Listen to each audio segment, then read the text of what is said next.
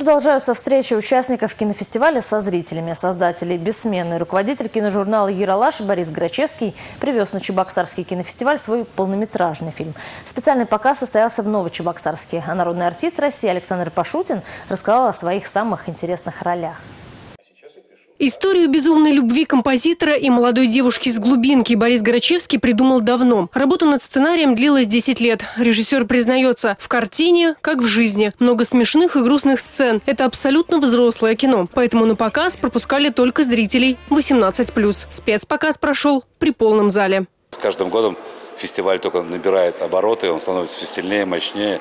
И очень приятно, что наш зритель посещает на, в кинотеатры, посещает на все показы. Ну, Чебоксар всегда был культурным городом, и сегодняшний день он показывает, что масса людей, которые собрались сегодня в ожидании а, премьеры фильма, который показывает Борис Грачевский, мы с удовольствием тоже приехали посмотреть, порадоваться за нашего коллегу и пообщаться.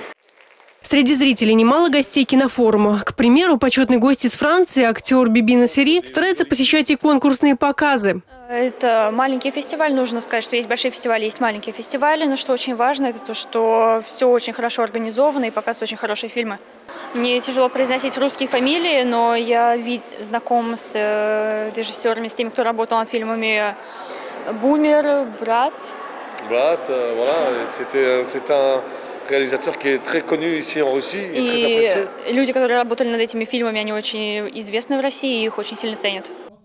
В рамках кинофорума творческую встречу провел и народный артист России Александр Пашутин. В послужном списке Александра Сергеевича более 200 фильмов, а еще есть десятки незабываемых образов, созданных в лучших театрах родной для него Москвы. На встрече актер рассказал о своем жизненном и творческом пути.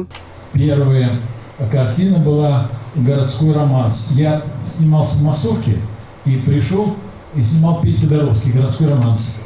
Я пришел в варежках, такие у меня варежки были на резиночке. И снимался, главный герой был Женя Киндинов. И Женя со мной разговаривает, а Петя Тодоровский спросил, а что это за парень? Он говорит, это актер, хороший актер, а мы Женя, Женя на курс раньше меня учился. Вот, говорит, вот хороший актер Саш Пашутин, да?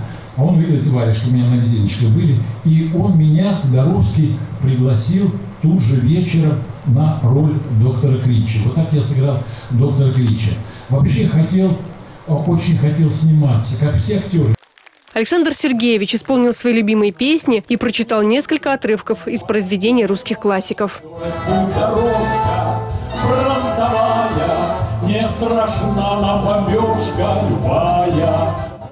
Александр Сергеевич признался зрителям, что Чувашия поразила его своим гостеприимством и красотой. Галина Титарчук, Алена Алтухова, Бахтияр Велиев. Республика.